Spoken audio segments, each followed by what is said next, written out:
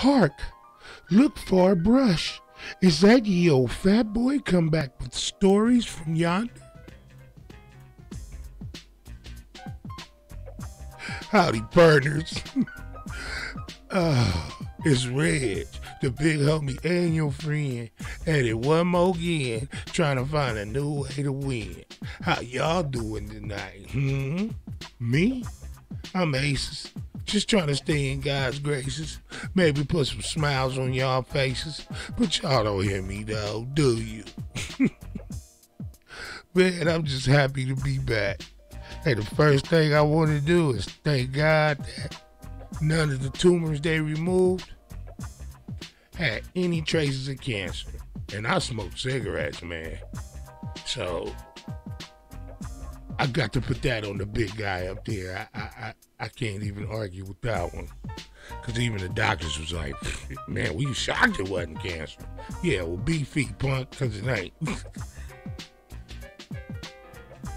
Oh, and I and I got the Pododo Dodo back. So, you know, and it's healing, it's getting better. So I'm just happy to be able to do the one thing that I still love to do. And that's talk to y'all. I don't care how many of y'all hear it. I just want somebody to hear it. anyway, let's get to business. Yeah. This story is about. Okay, wait a minute.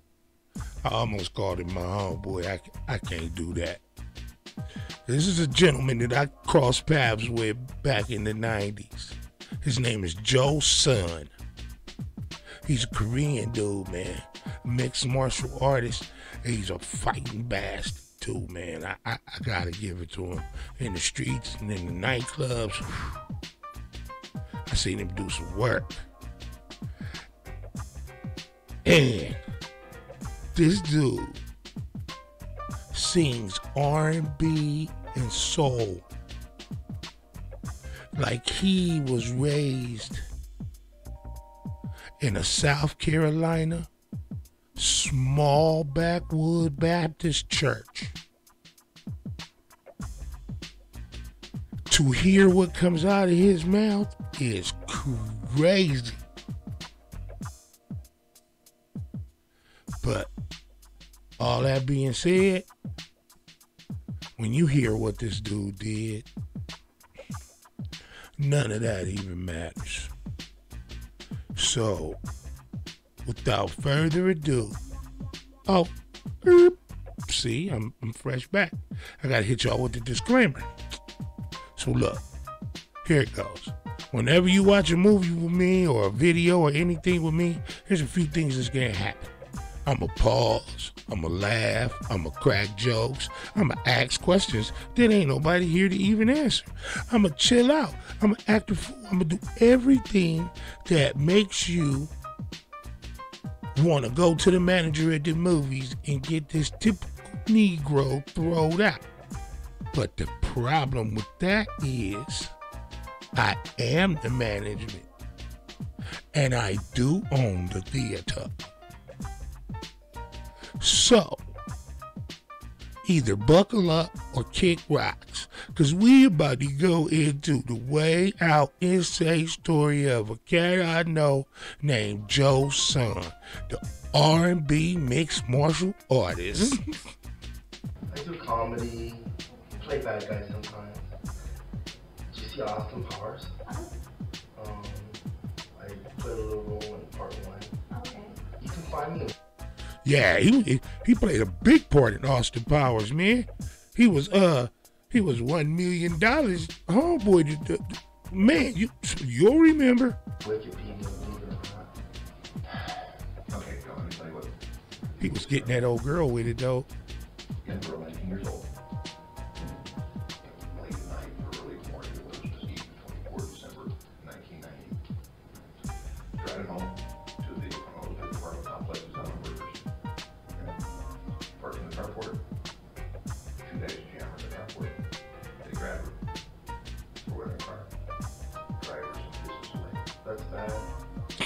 This fool said that's bad. Despite the weather and general lack of snow, Christmas in Huntington Beach Hey, I gotta cut in, man. That's how HB look, man. Oh man, I had some good times there. California is a lot like Christmas in the rest of the country. People celebrate, gather with loved ones, and observe traditional Christmas customs. Amongst those excited for the holidays was a 19 year old woman only known by the alias Victoria. She looked typical for back then. Back in 1990, in the early 90s, Huntington Beach had a heavy punk, like punk rock uh, underground scene, man. It was crazy, but it was fun, man. It introduced me to a lot of new stuff. On December 23rd, 1990, Victoria and some friends had been out to admire the Christmas lights adorning much of the city. Along for the ride was Chassis, Victoria's small Pomeranian puppy. Victoria arrived home at her apartment complex around 12:30 a.m. and immediately noticed that the normally locked front gate to the complex was wide open. Additionally, the light above her assigned carport was flickering on and off. I don't know But most got to do. disturbingly, Victoria had the unmistakable feeling that she was being watched. As Victoria parked her car, she began hearing footsteps that sounded as though someone was coming through the gate. It was blisteringly cold that night, so Victoria put her dog snugly into her coat and began walking towards the apartment entrance. But as she did so, she saw what looked like a shadow on the sidewalk that quickly disappeared. That's what sucks, man. And I hate to say this, man. Young ladies should never go home that late at night by themselves. Should never, man. I- oh, man, that sucks. Then, immediately afterwards, a man appeared from out of nowhere on the path and began to quickly walk towards Victoria, shouting that he was lost and needed directions to the beach. Jesus, As the man got closer, a second man with a cigarette in his hand appeared from behind. When the second man flicked his cigarette away, both attacked Victoria from the front and back. As Victoria was on the ground, the second man pulled out a gun with a silencer attached to it and said, quote, Bitch, you're gonna die tonight. I'm gonna throw you off the cliffs. As the two men began to drag Victoria away, her puppy, who was still in her coat pocket, bit the hand of the man Hell with the gun. yeah. As he screamed out in pain, Victoria began to run away, but was unfortunately caught at the last second when one of the men was able to grab a handful of her hair. It's them damn sh- stripper shoes, man. The two then began to beat Victoria on the sidewalk. When one of them asked Victoria a question, Do you see that? As he showed her that the other man had his gun pointed at the windows of Victoria's neighbors in the apartment complex. The man then said, The first one that hears you is gonna get their head blown off, and you're gonna watch, so it's your choice. I was about a year younger than her when this happened. That's crazy. They then knocked Victoria out and threw her into their nearby vehicle and drove off. The two men then spent the next several hours driving around the city as they both repeatedly tortured and raped Victoria. As the man who seemed to be the leader kept repeating, I needed a beach girl for my Christmas present to myself. As the men drove around the city claiming they were looking for Cliffs, Victoria remembered that in her wallet she had a picture of a friend's newborn baby. Stay thinking, Victoria. You a smart young lady. That probably saved your life. Thinking fast, she showed the men the picture and told them that they were gonna let her live so she could see her son again. To which the leader replied, You really think I'm gonna let you go after you've identified me? Victoria answered, You poked my eyes out with contacts in them. I can't Ooh, I bet that hurt. see shit right now. A long moment of silence followed, with both men considering their options. But unfortunately, from that point, the torture would only get worse, as the leader then decided to violate Victoria with the barrel of his gun. As he claimed it had always been a fantasy of his to do so. He then stopped the car and threw a naked Victoria out onto the side of the road. Damn. He pointed his gun at Victoria's head, but then at the last moment, the other man threw his jacket onto Victoria. Wow, the leader God. was enraged and shouted, What the fuck are you doing, man? To which he replied, Come on, man, she's cold. The leader then pointed his gun at Victoria again and began counting. One, two, Merry Christmas, it's your lucky day. Run. Wow. Victoria then ran to a nearby house, whose occupants immediately phoned police upon hearing her story. Police arrived soon after and decided to take Victoria to the hospital, but she She survived. That's a strong lady, man. That's a strong young lady. Convinced them to first take her back to the scene of her abduction so she could look for her puppy. That's as right. they arrived, police started their investigation as Victoria began frantically searching the area and calling out her dog's name, but was unable to find her. Thinking that she died during the struggle, Victoria began to cry, but then a loud whining noise started to come from a nearby bush, and Hell from there yeah. emerged Chassis the Pomeranian. Victoria right. was so jubilant that even some of the nearby police officers began crying. At the hospital, He, he told him real niggas don't die. Victoria was able to provide investigators with a detailed description of the appearance of both suspects, which was quickly given out to local media.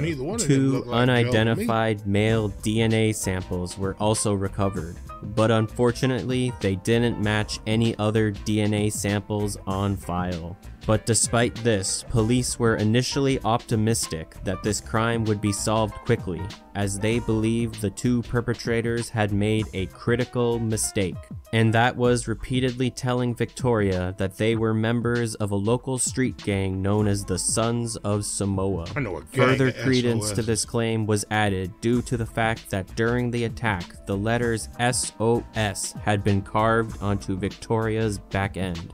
Police immediately pursued this lead, and for over a year, they monitored the gang's members and had informants feeding them information on the gang's activities. But this lead would ultimately prove to be a dead end, with detectives coming to the conclusion that this was nothing but a lie designed to mislead investigators. And with the I figured that because SOS, man, Joe's son wasn't son wasn't from no SOS. Like, uh, hell no. And uh, he it was a lot of Samoans around where we were, but most of them were from the tribe, and um, they all from West Side Pyru. So he knew what he was doing. He sent he sent uh, he sent the police on Space Ghost run. that, the case went cold. Police had no witnesses, no fingerprints, and no surveillance recordings. All they knew for certain was that one of the attackers was a Hispanic male, while the other was a heavy set Asian male. 18 long years would pass before police would have another lead in the case, and during that time, both of the attackers would move on with their lives as if nothing had happened. Question. Would that be considered a blessing? Not from our point of view, but from his or from theirs. Or would it just be a coincidence?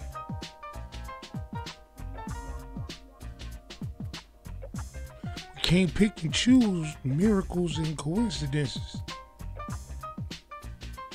Which one is it? Think about it. One of these men would eventually be identified as Joe Son, who just four years after leading the attack on Victoria would make his Damn, mixed martial Joe arts fighting debut on pay-per-view at UFC 4, where he was billed as a black belt in Taekwondo, as well as the founder of a new martial art he had created which he had too. I don't ingeniously named. Joe Son Do. Despite being just 5 feet and 4 inches tall, Son weighed in at 240 pounds. He made Easy look like me height wise, but boy, he was big all neck. He, ugh, I seen him knock fools to walls. and he was pitted against a fighter named Keith Hackney, who had notably beaten a 600 pound sumo wrestler I at a previous UFC event. The fight between Son and Hackney would go down in infamy due to a segment where Son had a guillotine choke locked in, to which Hackney responded with a flurry of multiple punches to Son's groin, which caused him to release the chokehold.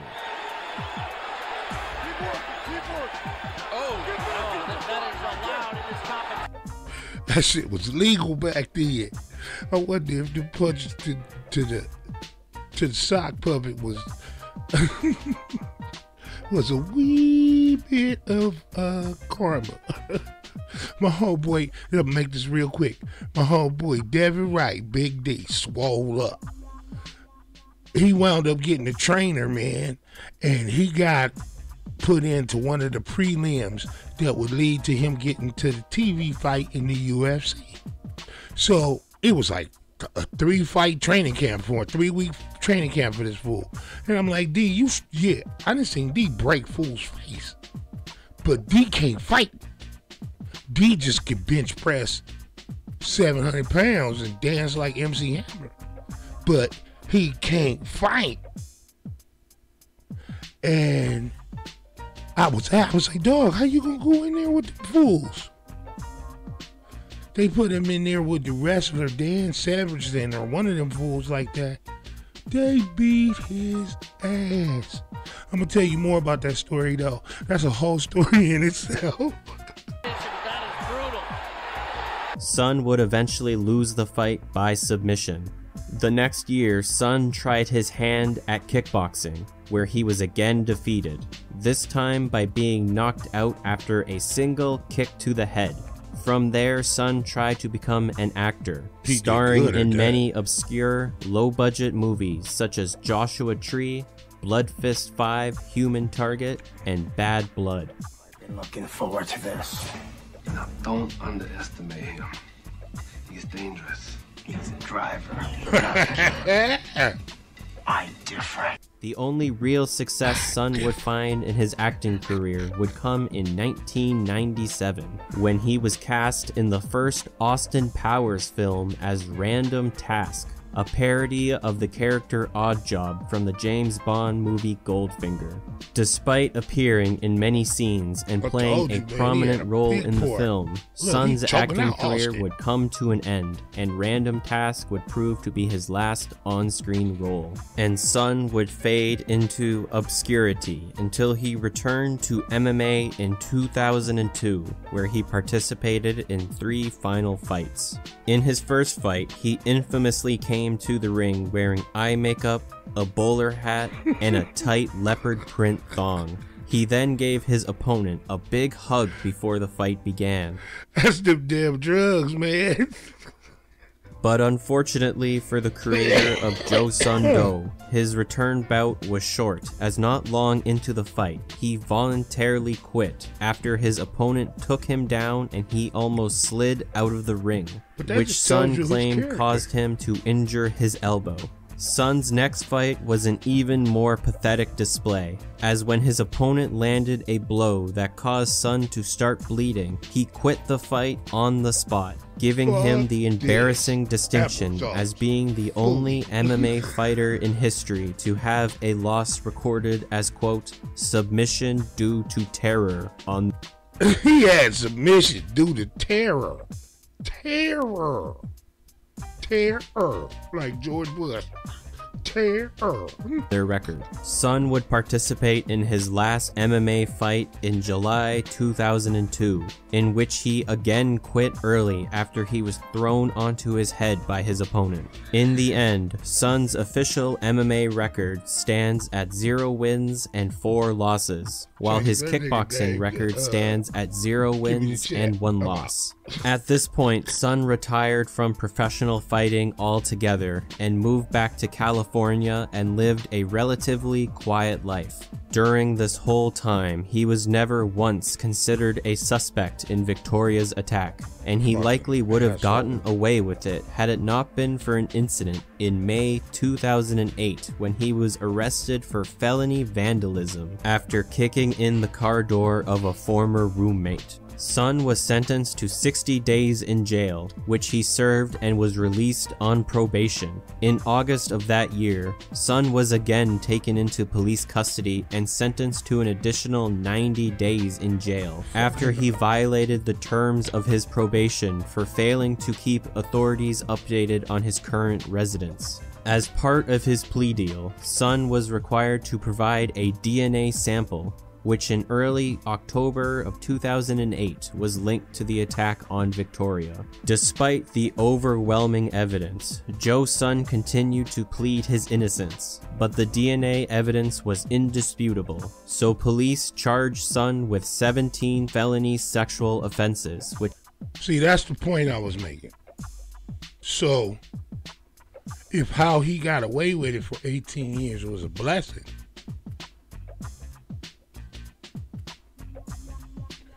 then for the other people was how he got caught 18 years later a blessing for them.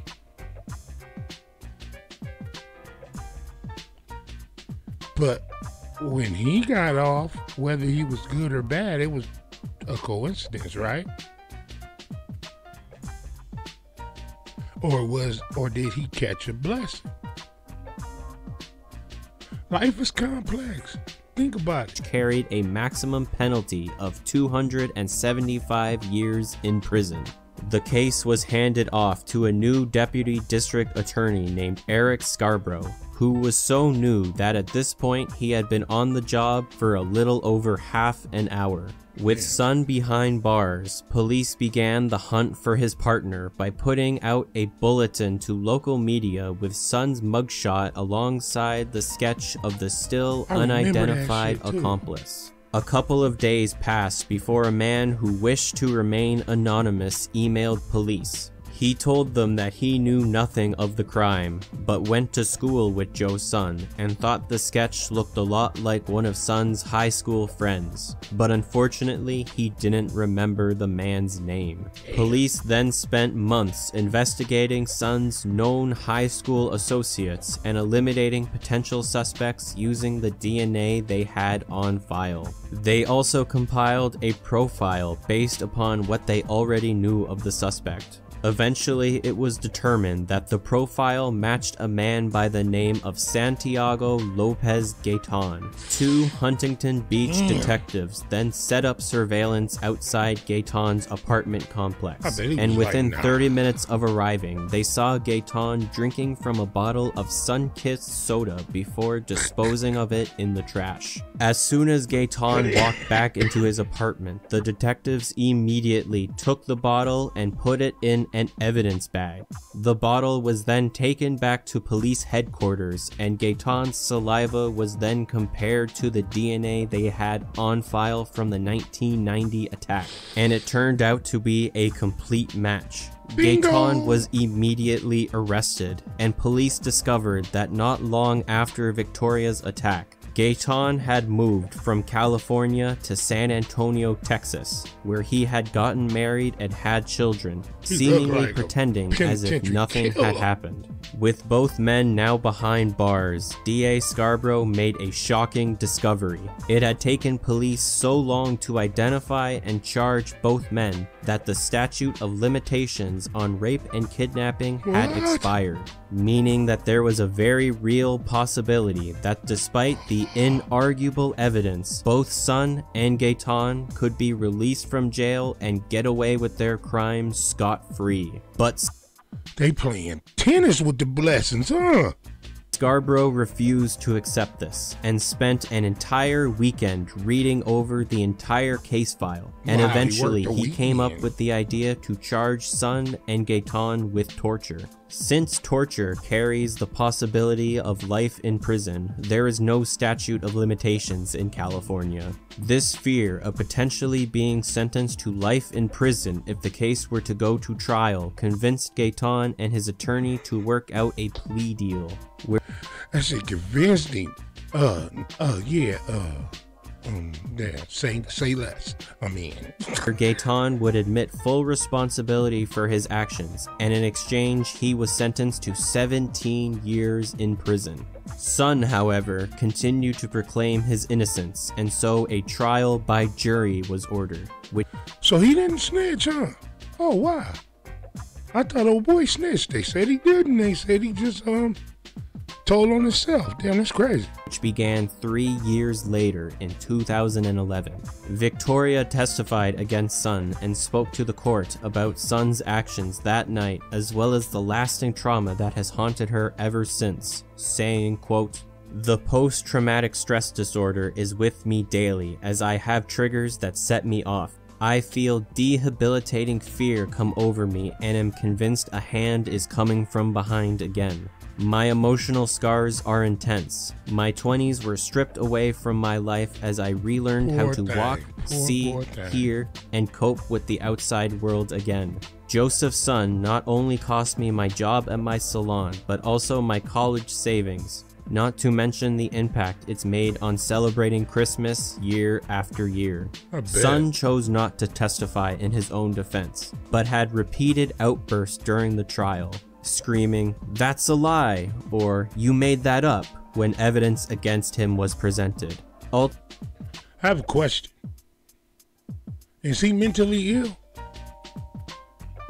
He lived 18 years without really getting in trouble, all of that. But in order to do what he did, isn't there some kind of warp in his brain? And then to be able to live with it like it didn't happen? I think anybody that do heinous crimes like that gotta be mentally ill. Just to even think about it. It should be automatic.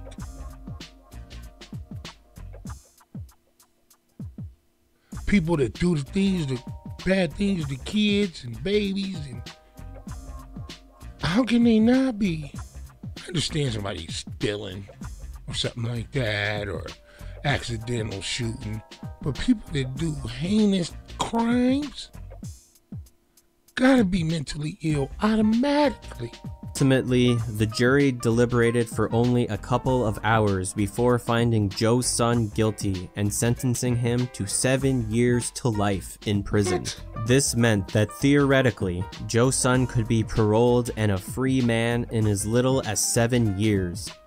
He he could have paroled in seven years, and I got sentenced to six years for employ, employing a minor that was already out there selling dope. Imagine that. But just one month into his sentence, prison guards rushed to his cell after hearing a commotion. Upon entering the cell, they found Son standing beside the door and his cellmate Michael Graham lying unresponsive on the bottom bunk with multiple marks and bruises on his face. Damn. Son reportedly told the guards, quote, I told you I needed to get out of here before nonchalantly going to wash his hands. I told y'all I needed to get out of here. After he murked his celly. Damn, Joe.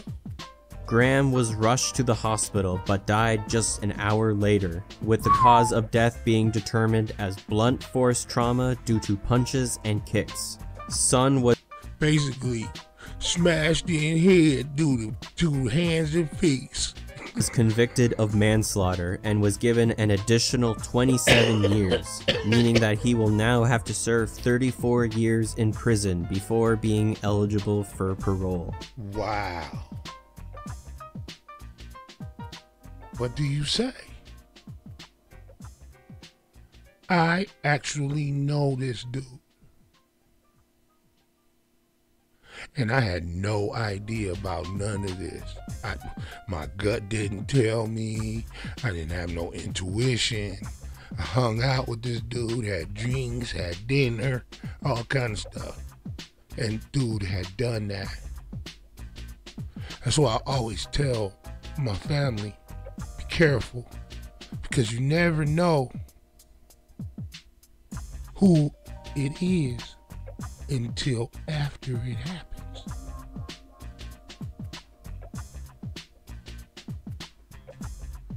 So we finna wrap this up, but I want to say rest in peace to my close friend DJ Sparkle. Did most of the production for Tweedy Bird Loc and on the original Bloods and Crips album, Banging on Wax. And he just a hell of a dude, and I love him, and I'm gonna miss him. And also to my brother from Click, from Rider Click, receive your dreams always. No Rider, Brett James, the KNO Rider, cause he was the one that always kicked the game to Click. He was my conscience. I didn't always listen, but he never stopped telling me. And I'm gonna miss you, dog. Fuck cancer. I mean it. So now, y'all, remember this.